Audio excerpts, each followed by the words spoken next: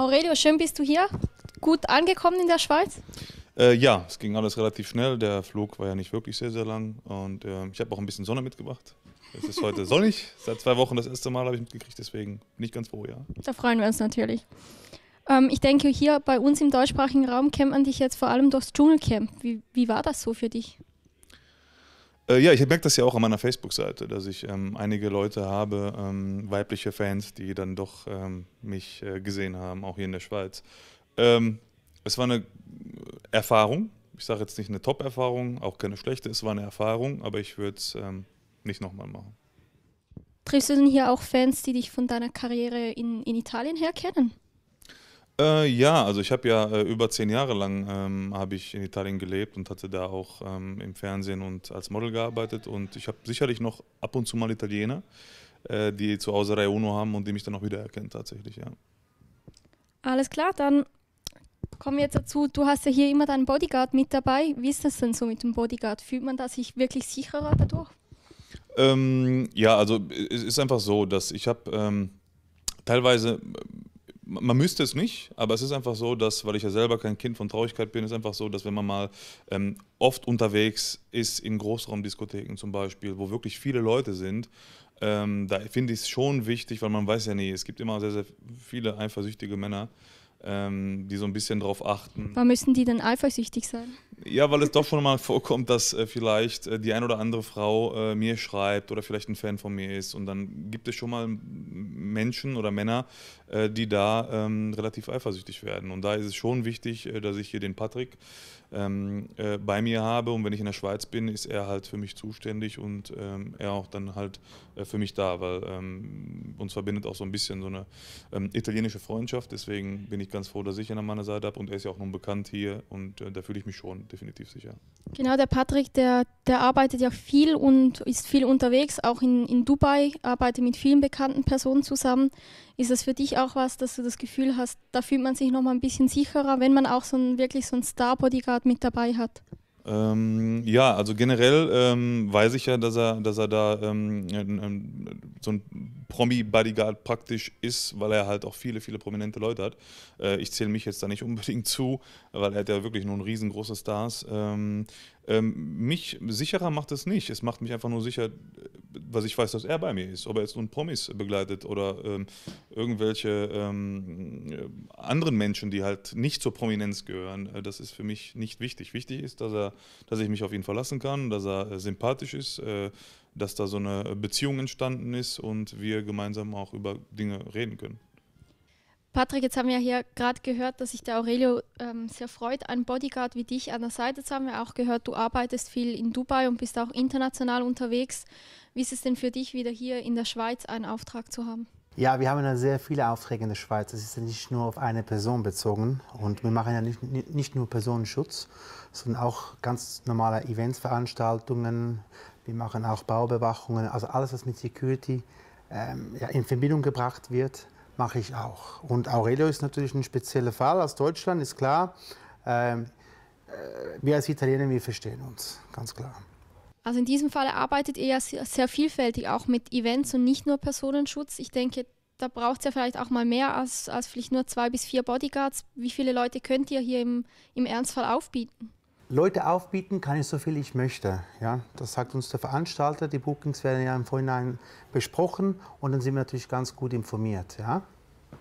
Gab es dann schon konkret Vorfälle, wo du froh darum warst, deinen Bodyguard mit dabei zu haben? Gott sei Dank hatten wir noch nie ähm, solche Fälle, also bisher noch nie. Ich war in einer Großraumdiskothek, allerdings in Deutschland. Äh, da wäre es beinahe dazu gekommen, aber wie gesagt, ich bin ja halt auch einer, der ähm, nicht ganz so einfach zu, zu, ich sag mal, überrennen ist. Und von daher konnte man das äh, regeln. Aber riesengroße Fälle hatten wir noch nie. Ich hoffe, wir kommen nie dazu, aber wenn es dazu kommt, habe ich ja den jungen Mann links hier von mir. Wenn es zu sowas kommen würde, was, was wäre dir am wichtigsten beim Bodyguard? Ja, hundertprozentige Loyalität halt. Ich muss halt, ich muss halt wirklich darauf ähm, mich, mich verlassen können, dass er, wenn irgendjemand zum Beispiel von der Seite kommt oder so und mir irgendwas an den Kopf schmeißen möchte, jetzt mal als Beispiel, dann möchte ich natürlich, dass ähm, er sich dazwischen stellt. Wenn ich es nicht sehe. Also wenn ich sehe, dann kann ich natürlich auch selber vieles regeln, aber wenn ich es nicht sehe, und von hinten jemand kommt, dann ist halt ein sehr professioneller Bodyguard dafür da, äh, auf diese Sachen zu, äh, zu achten. Ich denke, eine Frage, die man sich immer wieder stellt, wenn es um eben das, das Personenschützen geht, ihr gebt ja euer, euer Leben sozusagen für diese Person im Ernstfall. Wie, wie ist das so für dich? Wie bist du überhaupt zu dieser Berufswahl gekommen? Ist ja eine relativ spezielle Berufswahl. Ja, das ist es. Ähm, ja, ich wollte das eigentlich schon seit äh, den jüngeren Jahren machen.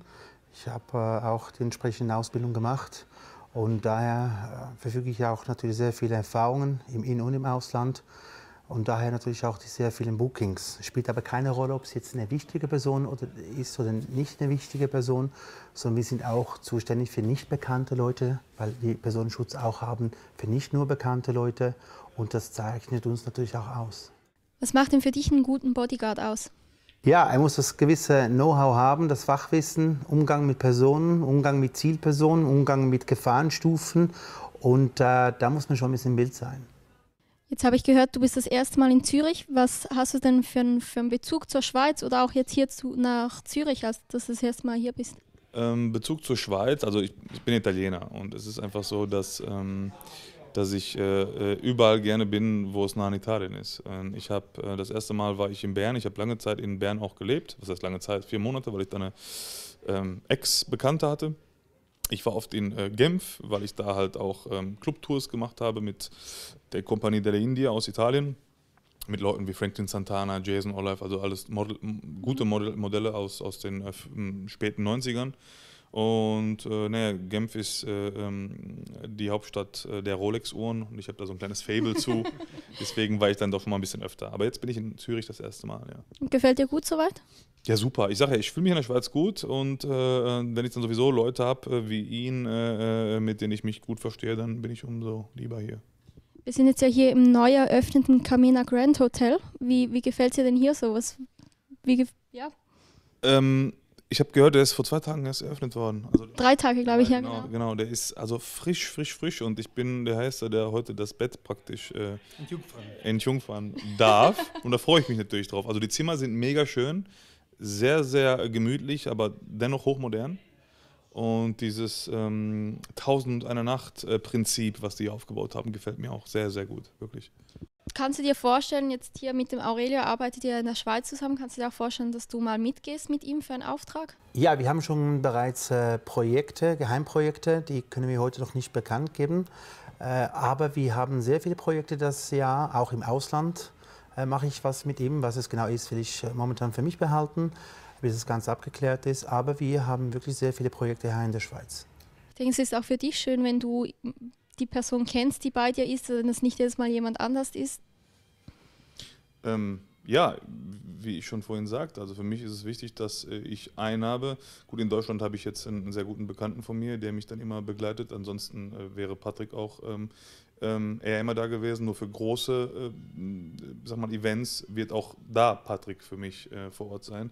Äh, und äh, unsere weiteren Projekte, die er angedeutet hat, die jetzt nicht nur in Deutschland sein werden und auch nicht nur in der Schweiz, sondern auch außerhalb, ähm, die dann bekannt gegeben werden, da wird auf jeden Fall Patrick äh, in erster Linie äh, für mich zuständig sein. Und ganz egal, in welchem Land wir sind oder auch dann hinfliegen werden so ein Bodyguard ist in allen möglichen Situationen mit dabei und erlebt ja auch viel von, von dem Leben, das man führt. Wie nah kommt man sich da? Oder was für eine Beziehung baut man sich da auf zwischen jetzt Bodyguard und und Stars sozusagen? Ähm, naja, wir haben ja schon des Öfteren gesehen, dass es äh, genügend Bodyguards gibt, die, ähm, die sich da ähm, mit äh, ihren ähm, Arbeitgebern in Anführungsstrichen, äh, sprich Heidi Klum war ja mit irgendeinem Bodyguard dann auch irgendwo zusammen. Das gibt ja, das passiert ja jedes Mal. Nur bei uns, wir sind zwei Männer. Ich glaube, wir mögen beide Frauen. Das wird da in der Hinsicht nicht so passieren. Aber Fakt ist natürlich, dass da wir uns ja verstehen, äh, kann ich mir schon vorstellen, dass äh, wir nicht nur arbeitstechnisch da ähm, ähm, zusammen äh, losmarschieren, sondern auch sicherlich mal nach,